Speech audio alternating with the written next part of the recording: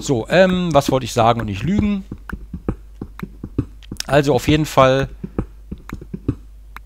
grabe ich hier mir gerade mein eigenes Grab, ne? Komme ich da überhaupt noch raus? Doch. Doch komme ich raus. Gut.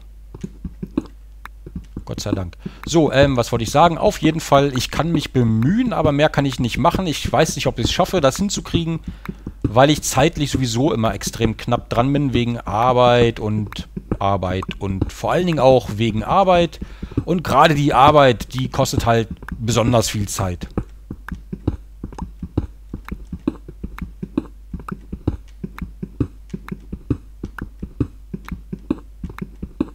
So, jetzt breche ich mal das, äh, diese Aufnahme schnell ab. Wir befinden uns hier im Keller, damit ich das zeitlich noch einigermaßen hinkriege. Und äh, dann sehen wir uns gleich wieder. Und äh, ja, bis zur nächsten Folge. Tschüss! Und willkommen zurück zu einer weiteren Folge Minecraft Let's Play Minecraft. Letztes Mal haben wir jetzt eine Let's Show gesehen, wie wir weitermachen. Inzwischen habe ich hier nochmal ganz kurz, das muss ich zugeben, ich dachte mir, ich arbeite ein bisschen im Voraus, habe dann so zwei, drei Dinge angeschafft, wie zum Beispiel ein bisschen Sand abgebaut. Ich habe Schaufeln gebaut. Moment, da zeige ich mal ganz kurz, wie es geht. Ich habe dann auch abgebrochen, weil ich dachte, nee, komm, Let's Play und so. Äh, da musst du schon zeigen, wie das alles geht, bevor du jetzt hier einfach rumläufst. Und da habe ich jetzt einfach mal im Voraus schon mal Sand reingeschmissen, damit wir mehr Glas kriegen für ein kleines Schlösschen da oben auf dem Berg, weil, Moment, das erzähle ich auch nochmal ganz kurz, weil wir die Hütte jetzt erstmal in diesem Zustand lassen können. Da fehlt jetzt zwar noch ein Dach oben und vielleicht ist da jetzt noch kein Wintergarten und wir können eine Mine hier im Keller ausheben. Aber ich würde gerne einfach äh, von der Umfrage beide Ergebnisse berücksichtigen. Ich mache mal ganz kurz auf Pause, damit die Zeit nicht weitergeht. Äh, beide Ergebnisse berücksichtigen. Das heißt, ich würde gerne auf diesen besagten Berg mit der Mega-Aussicht ziehen. Andererseits würde ich aber gerne die Hütte in einen einigermaßen akzeptablen Zustand bringen. Das haben wir jetzt die letzten Folgen gemacht. Das heißt, wir haben da jetzt nicht irgendwie 10 Holzklötze liegen und das war's, sondern tatsächlich schon eine super trendige Bauruine. Die ist spitze, die ist klasse, die kann man so erstmal da lassen und später weiterbauen, weil äh, es würde, sich sonst, äh, es würde sich sonst ein wenig hinziehen, wenn wir jetzt sagen, okay, wir bauen nur ein tolles Märchenschloss oder was weiß ich, da oben auf dem Berg, dann ist das zwar schön und gut, aber auf Dauer wird es vielleicht langweilig, sodass wir jederzeit zurückkehren können und hier weiterbauen. So, wollte ich jetzt nur mal so erklären. Hier macht sich das Glas. Ich zeige euch mal ganz schnell, wie man eine Schaufel macht. Das ist ganz easy. Ich nehme hier einfach zwei Stöckchen und da oben bappe ich ein Steinchen drauf und schon habe ich eine Schaufel. Und davon habe ich mir hier gleich mal ein paar gemacht, um Sand zu schaufeln. Und das habe ich da hinten in der Ferne gemacht, da hinten auf der Insel. Und zwar deswegen, damit wir uns hier nicht die Aussicht kaputt machen, wenn wir den ganzen Sand klauen. Wenn wir den ganzen Sand klau Sand klauen. Ist es gerade... Es wird dunkel. Also wie bereits gesagt, wir gehen jetzt nicht sofort auf den Berg, sondern wir bleiben erstmal in der Holzhütte und machen hier das Dach und so. Das habe ich ja gerade genau so gesagt. Und wir haben auch keine Holzdinger mehr. Tja, da machen wir nicht das Dach, sondern ich würde sagen, wir bleiben einfach mal hier, popeln ein bisschen an der Nase und machen dann einfach ein LP draus. Let's Popel. Das ist jetzt ganz neu. Das ist der Trend to come aus den USA. Nee, was ich aber mache, habe ich noch... Ich habe natürlich auch keine Erde mehr. Ich weiß das alles gar nicht mehr. Die Wolle würde ich gerne behalten, das Glas auch. Jetzt lass mich doch mal überlegen, wie wir das machen. Ich würde gerne Erde anbauen, aber da wir sowieso Sand abbauen, schütte ich das jetzt einfach mal mit Sand auf. Das mache ich normalerweise nur ungern, weil Sand ja immer so, ein, so eine Seltenheit ist. Hier haben wir... Ach, da ist ja schon Erde. Ist schon wieder ein bisschen her, dass ich gespielt habe. Man merkt es vielleicht. So, hoppala. Zapp, zapp.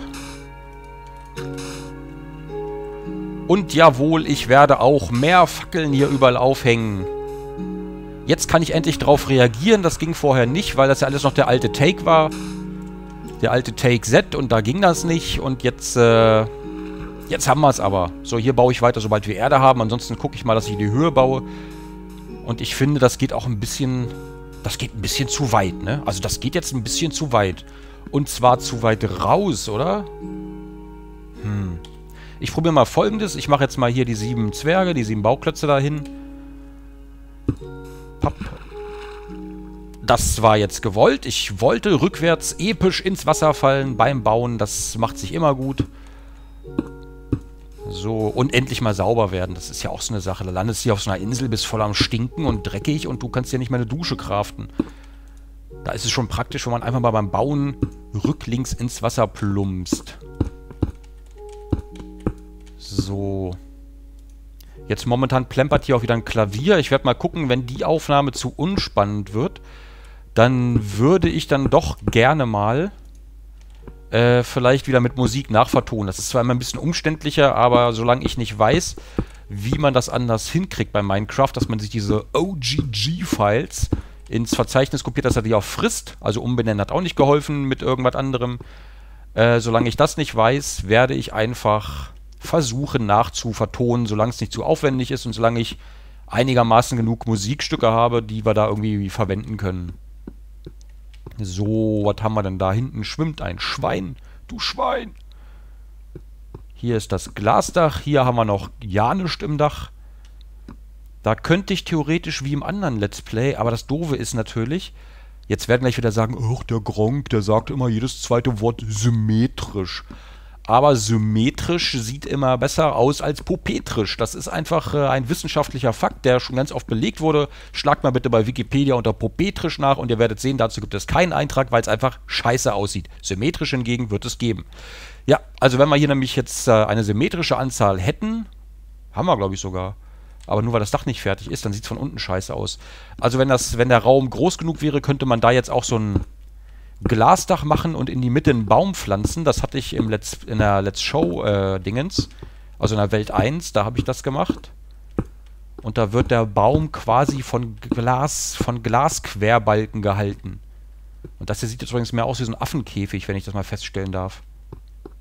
Das sieht nicht aus wie Wintergarten, das sieht aus wie ein Gehege im Zoo. Hier, komm, kriegst eine Erdnuss. Hm. Hm, Erdnuss. So, ähm...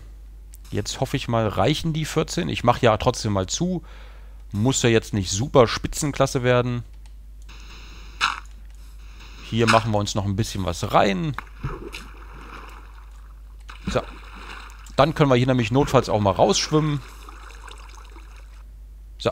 Was übrigens ganz witzig ist, wenn man unter Wasser sich einen Glaskasten baut und den dann zum Beispiel ausfüllt mit Erde oder Sand oder sonst was und den Sand und die Erde dann abbaut, dann hat man einen Glaskasten voller Luft. Das heißt, da ist dann kein Wasser mehr drin, sondern einfach, äh, man kann darin atmen. Das heißt, so kann man auch ganz tiefe Strecken durchtauchen, wenn man sich zwischendurch mal immer so eine, so eine Atemstation macht.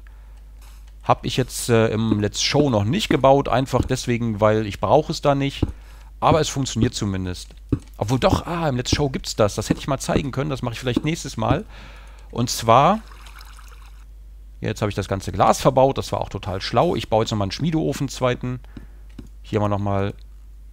Ach, wir sind out of Cholera.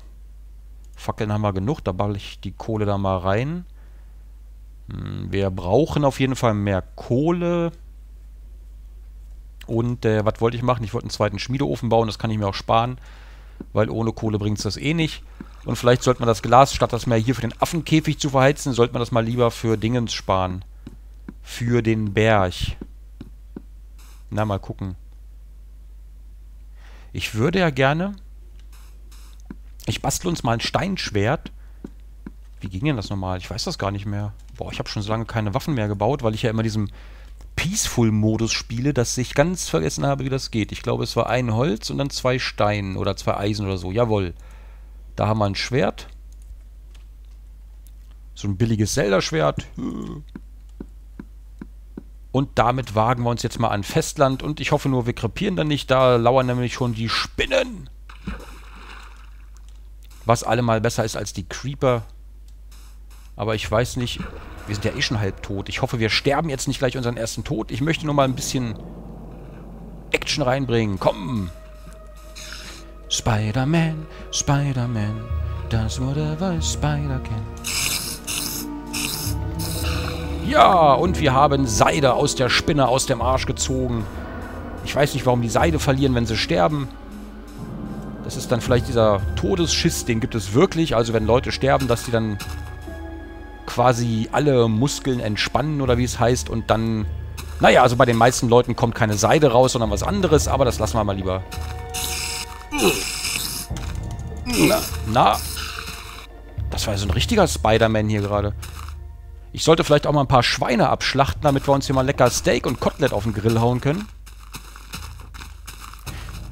Spider-Man. Spider-Man. Na, jetzt trifft er nicht.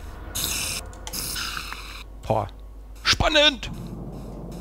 Da haut's euch aus den Socken. Der Gronk kämpft mal nicht gegen Skelette, sondern nur gegen Spinnen und Zombies. Und äh, gegen Creeper ist auch keine gute Idee. Deswegen muss ich ganz doll aufpassen. Da ist auch ein Skelett, das ist zwar auch ein Zombie, aber ich passe hier lieber mal ganz doll auf. Weil ich wenig Lust habe, dann hier den Löffel abzugeben, weil den besagten Löffel müsste ich später erstmal wiederfinden und das dauert eine ganze Weile bei mir. Weil ich dann, weil ich dann schluchzend erstmal am Spawnpoint sitze. So, da haben wir wenigstens noch ein bisschen Bambus gesammelt. Meine kleine Nachtaktion gemacht und nicht immer nur in der Bude gehockt. Und jetzt geht es hier einfach mal weiter. Und zwar über die Sandbank gucke ich mal. Nee, das kann ich vergessen. Da hinten ist eine Spinnenarmee, da komme ich nicht durch. Vor allem nicht mit diesen zwei läppischen Herzchen. Das ist, äh... Ihr müsst mir eure Liebe spenden, damit meine Herzen wieder aufgefüllt werden. Ah. Nee, das wird nix. Ja, da kann ich hier theoretisch den Baum fällen, aber ich glaube, den möchte ich noch für die Aussicht haben, ne? Andererseits könnte ich auch einen neuen pflanzen. Was soll denn der Geiz? Komm, dann hauen wir jetzt mal den Baum weg. Wir haben ja noch eine Axt dabei. Dann nutzen wir die Nacht mal aus. So. Und ich glaube, es wird auch schon wieder hell. Und hell kommt von heldenhaft. Jetzt können wir hier auch nochmal ganz kurz äh, durch die Blätter schlagen. Dann kann ich euch mal ganz kurz zeigen. Ich warte mal mit dem Rascheln. Dann kann ich euch ganz kurz zeigen, wie das funktioniert, wenn man die Blätter, die Blätter abschlägt dass da manchmal Zweige rausgesegelt kommen, die man aufsammeln kann. Da. Huch, jetzt haben wir den schon gefangen. Na los.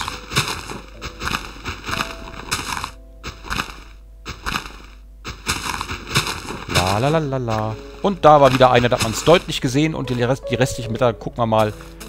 Machen wir mal ein kleines Experiment, ob die verschwinden oder ob die bleiben.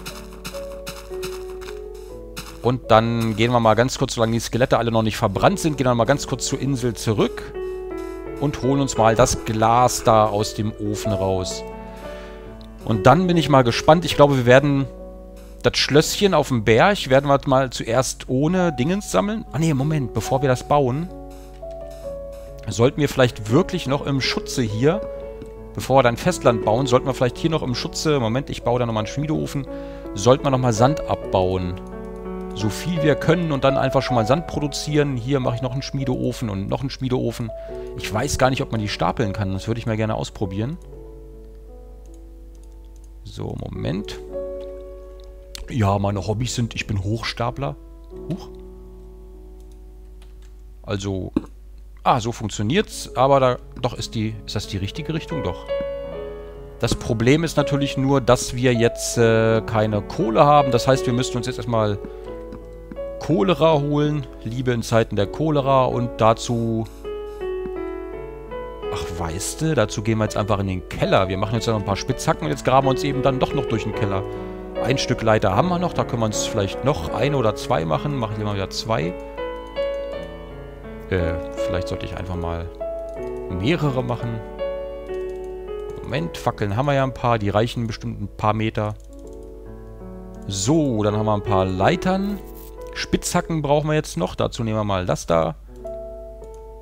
Pam, pam, pam, pam, pam, pam, pam, pam, pam, pam, pam, pam. Ich bin der Detlef, die Soße des Minecrafting. Pam, pam, pam, pam, pam, pam. Verstehst du?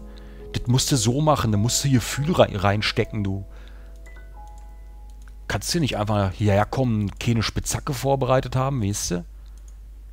Das ist ein ernstes Ding, wenn du, wenn du Minecraft-Künstler werden willst, musst du alles geben. Musst du bereit sein, alles zu geben. Da musst du eine super Show abliefern hier, verstehst du? So, jetzt zurück mit dir in den Keller. Gehst mal ein bisschen üben, wa? So, die brauchen wir eh nicht.